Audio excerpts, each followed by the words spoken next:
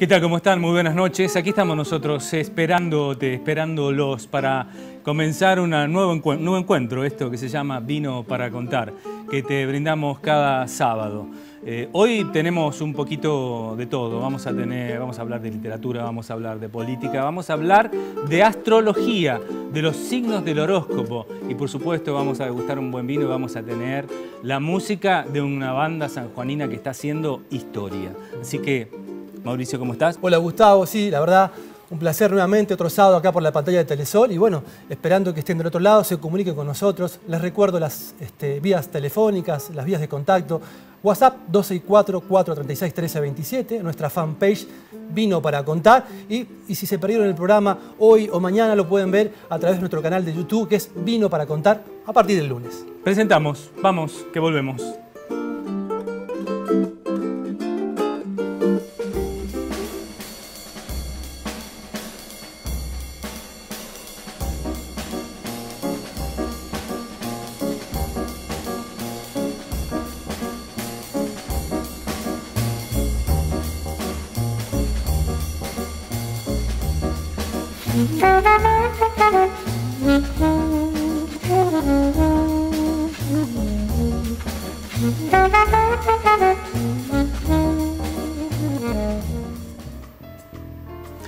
Bueno, aquí estamos para comenzar entonces con la primera parte del programa. Como se habrán dado cuenta, estamos solos, más solos que... ¿Cómo dice el dicho? Que Kung Fu. no, Hablando de una serie vieja, digamos, ¿no? Hablan el Día de la Madre. de la Madre, exactamente. Eh, no está Miriam con nosotros. No sé, este, ¿avisó que no venía? Sí, avisó, avisó, avisó, avisó, avisó. Tiene compromisos adquiridos con anterioridad. Pero, estará con nosotros el sábado que viene, seguramente. Claro, no sé cómo vamos a hacer para poder manejar el programa sin ella, sobre todo la parte de la parte del vino, la parte del vino. Pero bueno. Pero tenemos presencia femenina sí, y una entrevista muy interesante, Gustavo. Hace mucho que queríamos hablar con, con Mara Barros. Mara Barros es un, una persona que está muy vinculada a los medios, tiene carisma para los medios, ¿no? Este... Y vos lo dijiste siempre con buen humor, siempre está con buen humor. Mara siempre está riéndose con esa voz tan característica que tiene. Mara Barros es astróloga, por si no la, tienen. Comenzó con algunos dones que ella dice recibió a partir de los 20 años y desarrolló bueno, toda, todo su estudio sobre lo que es astrología, eh, horóscopo chino y demás. Pero más que nada queremos hablar con ella, conocerla, saber cuándo comenzó con esto, conocer a la persona, Mara Barros. Así que... Le extraña a la gente. Eh, Mara antes estaba en los medios, tenía, estaba en la radio, en los canales, así que ¿quién le dice que a partir de ahora vuelve a los medios? Bueno, vamos a, vamos a la primera parte de la entrevista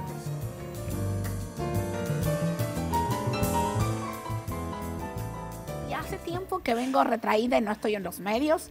Y bueno, y ustedes son tan queridos para mí que muchas veces me llaman y digo, no, todavía no estoy, no estoy preparada, porque falleció mi hermano hace un año y eso me ha llevado a estar más pendiente de mi madre, que está sola, eh, tiene empleadas, pero bueno, está sola, digamos, yo soy su única hija.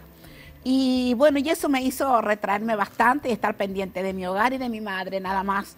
Y no he vuelto a los medios. Pero con Canal 5 Telesol, desde Guillermo Rojas hasta ustedes acá, hasta el último camarógrafo amoroso, cameraman, este, son muy queridos para mí, toda la gente, toda, Marcelita que se fue, Toledano, todos que me saludan con tanto cariño, este, hacen que yo esté acá porque los quiero y bueno, ya quiero reincorporarme nuevamente a los medios, después de haberme retraído por mucho tiempo, porque... Eso es necesario, nos contabas, nos contabas recién, ¿qué son? O sea...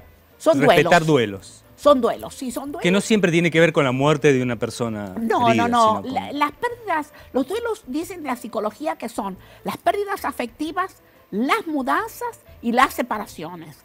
Esas tres causas hacen que la persona generalmente lo mejor que puede hacer es retraerse, hacer su duelo y buscar en la energía de la naturaleza. Es decir, yo siempre recomiendo ir al dique, a donde están los cerros, el agua. El agua descarga lo negativo, porque los duelos son negativos.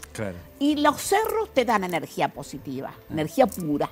Entonces hay que hacer eso. Yo este, eh, eh, realmente reconozco que Dios me ha dado una energía superior y, y no se puede creer que, por ejemplo, mi madre le agarró antes de ayer una enterocolitis y no llamé médico. Digo, llamo la, la emergencia. Digo, no, la vamos a superar. Y con unas gotitas para el vómito y una para el dolor y yo ahí mi mamá ayer estaba perfecta, peinadita, bañadita y perfecta. Estoy bien, hija, estoy muy bien. Es la energía que yo tengo, una energía sanadora. Sí, bueno, es, este, innegable, o sea, no, se puede ocultar. Tu energía, tu, tu alegría además, ¿no? Porque es como una actitud de, de estar siempre bien. Y bueno, voy a cumplir 71 años en octubre.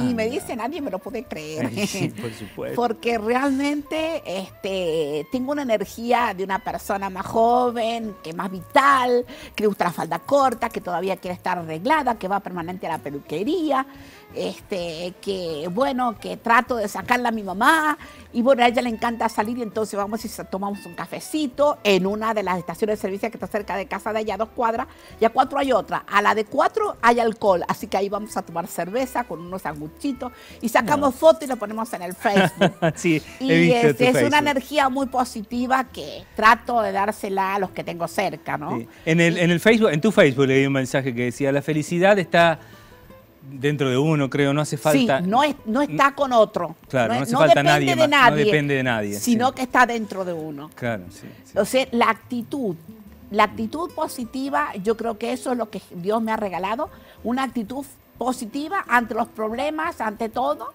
y eso es lo que trato de contagiar y de dar a los demás. Bueno, Mara, ¿cuándo arrancaste con esto de la astrología? ¿Desde muy pequeña? Sí, sí, sí, sí. Yo desde muy joven, en realidad. Desde muy chiquita, mi mamá dice que de chiquita todos querían tenerme alzada. Y una muy conquistadora. Eh, seductora. Ya cuando iba a la escuela iba con mis hermanos y mi mamá los días lunes nos ponía los guardapolvos, este, los delantales que iban prendidos atrás con moño todo almidonado, con la plancha de carbón en aquel entonces, allá en Uyun, querido. Y bueno, este, íbamos con flores para las maestras. Y sin embargo que mis hermanos son, han sido re amorosos, los dos ya no están, mm. este, las maestras decían, ay, viene mi mariposa, me puso uno. Y no era mi maestra, era otra. Ahí viene mi mariposa, ahí viene mi mariposa. Y yo, era, y yo les daba besos a todas las maestras y era así muy carismática. A los 20 años venía en el colectivo de trabajar, ya iba a la universidad, ya trabajaba, trabajaba en la Universidad Popular de Profesora, estudiaba piano, música y estudiaba también este, en el profesorado física, química y merciología. Y ahí te pasa una cosa. Ahí me pasa una cosa que, que te marca. Que marca mi vida. Venía en el colectivo y venía un vecino. Y yo era de la unión vecinal porque mi padre no podía ir a las reuniones y ahí iba yo. Entonces tenía 20 años. Se va a bajar mi vecino que también estaba en la comisión y me dice hasta mañana. Y yo le digo hasta mañana. Y me quedé así. Bueno, a las dos cuadras me bajo yo, llego a casa y le digo, mami, me pasó algo raro, muy feo, ¿qué? Se fue a bajar tal señor, no lo quiero nombrar por sus hijos que son tan amorosos, y, le digo, y le vi en la cara que se va a morir. ¿Cómo que se va a morir? Sí, para mí se va a morir. Como que le vi la muerte en la cara y este se va a morir. Bueno, al otro día me sentí muy mal. Al otro día me fui a trabajar. Cuando volví el mediodía me dice mi madre, ¿sabes lo que pasó, hija? Se murió tal señor. ¿Qué le pasó? Dije yo.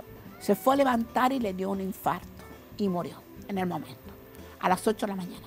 Bueno, eso me choqueó, pero claro, al, denotar que había una clarividencia. ¿Qué hago yo con esto? Claro, yo me choqué porque imagínate, si vos le hubiese avisado, pensás, si le hubiese avisado a la familia, quizás, digo, yo podían haberlo salvado. Y si no lo avisaste, no lo salvaste, pero no, no, estaba que tenía que suceder. Entonces me hicieron estudios psicológicos, psiquiátricos y parapsicológicos y se descubrió mi clarividencia. Tengo una clarividencia y dones de ayuda espiritual y de sanación que están impuestos en la iglesia porque el psiquiatra que me atendió me dijo, tenés que imponerlo en la iglesia para que nadie te persiga. Pero yo esto lo digo acá, este, pero no, no, Trato de no, lo hice muchos años con la gente en la terapia intensiva, que las enfermeras sabían de mis dones y me mandaban gente. Pero ya no lo hago porque ya tengo mi edad, mis años y me dedico a mi familia. Este, pero toda vez que puedo, que me consultan, trato de enviar mi buena onda a esa gente y mis dones de sanación a la gente que lo necesita para ayudar. Son dones que vinieron conmigo y yo los desarrollé yo lo desarrollé. Vos sos creyente, una persona creyente. Muy creyente. ¿En, qué crees? En Dios, sobre todo en Él y en los arcángeles. Los arcángeles son intermediarios que son los que nos permiten llegar, son seres espirituales muy luminosos, muy puros, que nos permiten llegar a Dios. Por lo tanto, nosotros, no, nosotros somos impuros. Es difícil que lleguemos a Dios directo, pidiéndole un favor. Sin embargo, si nos referimos a los arcángeles, ellos van con ese pedido y ellos proceden a través de las legiones de ángeles y vienen a ayudarnos. Es que yo estudié. A partir del momento que se descubren mis dones, comienzo a estudiar, porque el, sacerdote que me recibe este, la información de que yo era sanadora, me dijo, tenés que saber que el que cura es el de arriba, vos sos un instrumento. Lee y estudia ahora San Libro de Sanación. Y eso hice, estudié sanación, libro de, hice libros de sanación, un montón, eh, de autoayuda, astrología, geología, metafísica, control mental, este, Feng Shui, todas las otras este, terapias alternativas y complementarias de la medicina.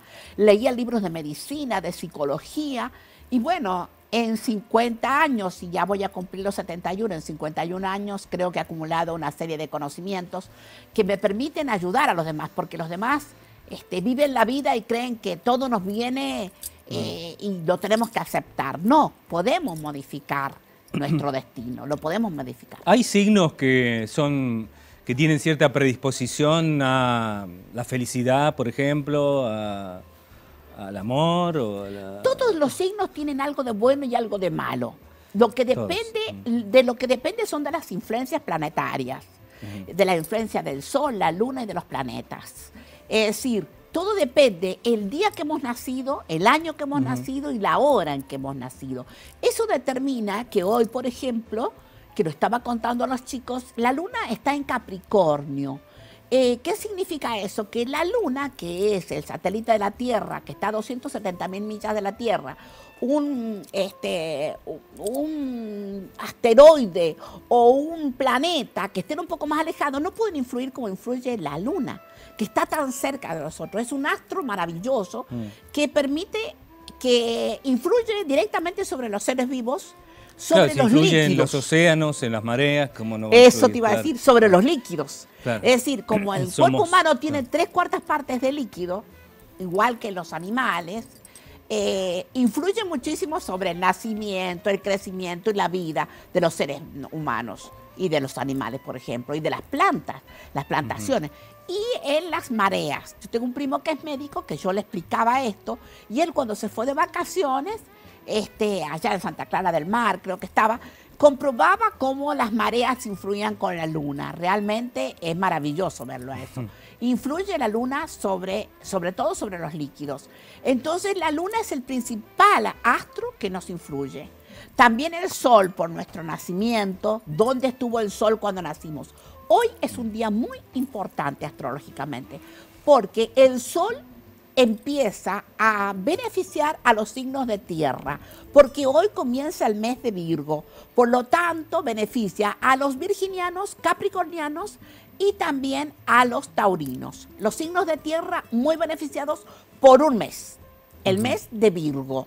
Luego vendrá el mes de Libra, a partir del 23 de septiembre comienza el mes de Libra, que es el mes del amor, de la belleza, de la estética, de la justicia. Este, un mes muy bonito, el mes de la primavera donde todo renace. Ahí hay que hacer rituales porque dejamos lo latente que trajo el invierno y con la primavera renacemos, resurge todo.